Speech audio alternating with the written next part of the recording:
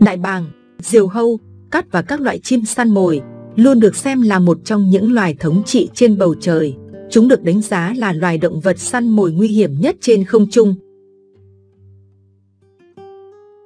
Chim săn mồi là các loài chim có lối sống ăn thịt bằng cách đi săn, chủ yếu là săn các động vật có xương sống, bao gồm cả các loài chim khác.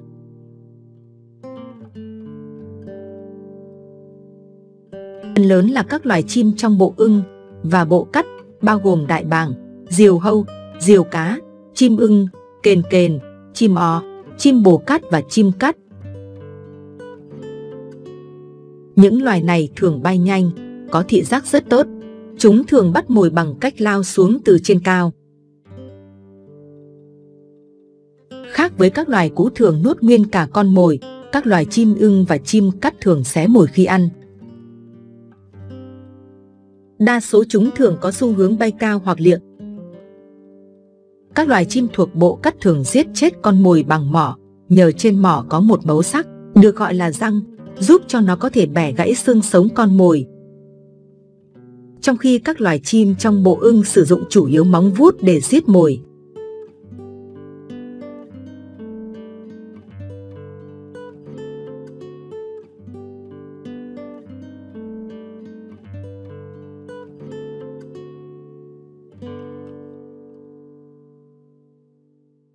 Trong clip này, chúng ta cùng tìm hiểu về hai loài chim săn mồi thuộc bộ cắt họ chim ưng có tên trong sách đỏ Việt Nam và sách đỏ thế giới.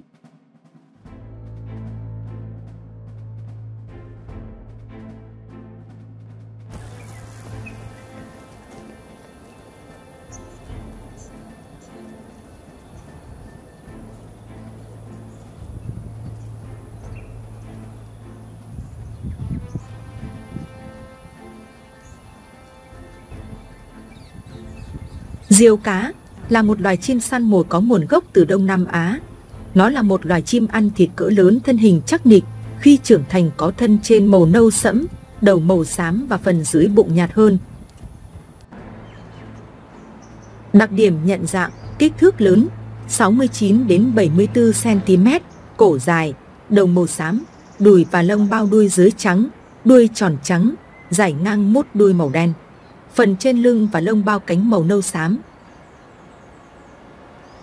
Ngực hung nâu, khi chim bay nhìn thấy cánh rộng, tròn, gốc đuôi trắng tương phản với màu tối xám của cánh.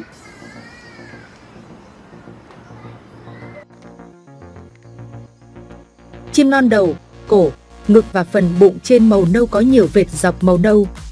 Đuôi có hai dải ngang nâu và trắng.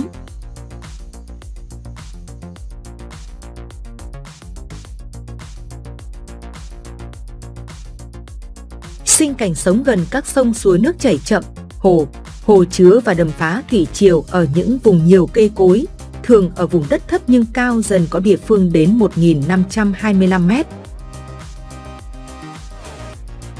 Sinh sản từ tháng 11 đến tháng 3, làm tổ trên cây cao và to, tổ có dạng hình cái cốc sâu và lớn, tổ cách mặt đất từ 7,5 đến 30 mét, đẻ từ 2 đến 4 trứng màu trắng,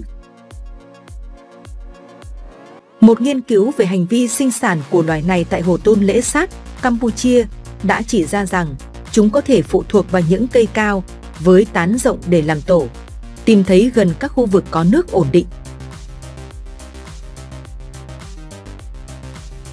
Những con diều cá tại vùng Hồ Tôn Lễ Sát dường như cũng sử dụng rắn nước và cá làm nguồn thức ăn. Diều cá là loài chim ít vận động, có thể sống đơn độc hoặc thành cặp. Nó không di cư, con non tách khỏi đàn để tìm kiếm bạn tình hoặc một nguồn thức ăn khác. Chúng dành phần lớn thời gian để đậu thẳng đứng trên các cành cây trơ trụi, trên các vùng nước, thỉnh thoảng bay xuống để bắt cá.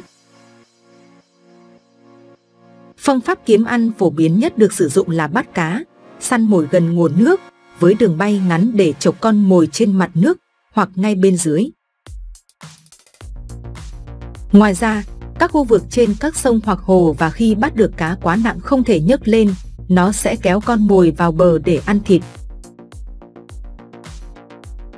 Nó cũng năng động trong việc săn đuổi con mồi. Và có thể bắt cá ở vùng nước động mạnh như gành, tháp.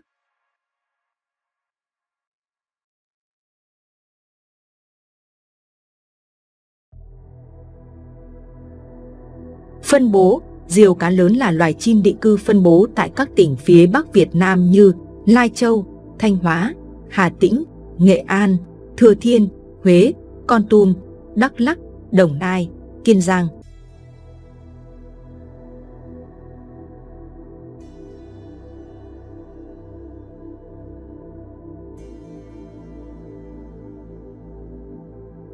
Tình trạng diều cá lớn hiện đã được xếp vào danh sách sắp bị đe dọa trong danh sách đỏ của IUCN và danh sách sẽ nguy cấp trong sách đỏ Việt Nam 2007.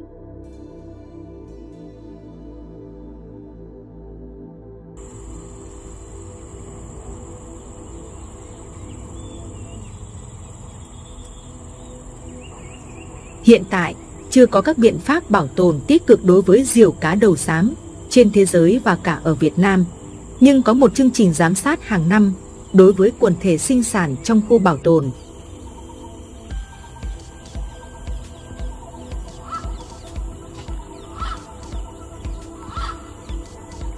Tại Hồ Tôn Lễ Sát ở Campuchia được tiến hành hàng năm kể từ năm 2006. Chương trình cung cấp thông tin cơ bản về sinh thái của loài và tình trạng và sự phân bố của quần thể sinh sản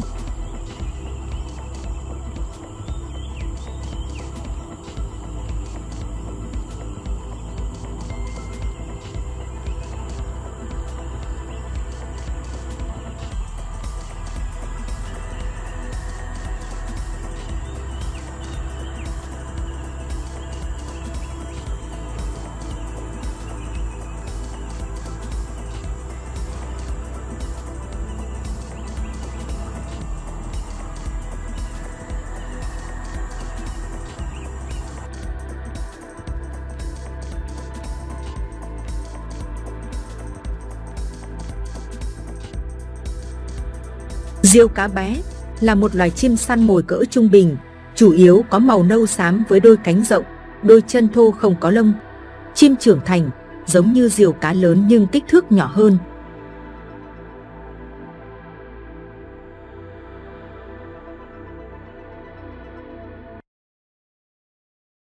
Diêu cá bé có ức màu nâu với đùi và bụng màu trắng. Chúng có đuôi ngắn, tròn với cổ dài, đầu nhỏ, con non có bề ngoài tương tự như con trưởng thành, mặc dù chúng có mắt nâu. Trong khi con trưởng thành có màu vàng. Con trưởng thành có sải cánh dài tới 1,2 mét và có thể cao tới 64 cm. Đặc điểm sinh thái, sinh cảnh sống là các sông và suối lớn trong rừng, có thể gặp ở độ cao tới 900 mét thường đậu rất lâu trên cành cây gần nguồn nước, bay lượn và giữ cánh trên không trung. Định cư ở các vùng phân bố, mùa sinh sản từ tháng 1 đến tháng 4, tổ lớn, hình cốc sâu, làm tổ trên cây to và cao, đẻ từ 2 đến 3 trứng màu trắng. Diều cá bé được biết là sống ở Ấn Độ và vùng Kashmir, trải dài về phía đông đến Nepal. Trung Quốc và các khu vực khác của Đông Nam Á. Chúng được biết là sống ở nhiều nơi khác nhau như Bangladesh và Nepal đến Campuchia, Indonesia và Việt Nam. Ở Việt Nam, diều cá bé phân bố ở các tỉnh Nghệ An, Hà Tĩnh, Đắk Lắk, Đồng Nai. Tình trạng vùng sống đang bị thu hẹp, quần thể nhỏ và bị suy giảm Diêu cá bé đã được liệt kê trong danh sách loài sắp bị đe dọa trong sách đỏ thế giới IUCN và danh sách các loài sắp nguy cấp. Trong sách đỏ Việt Nam 2007,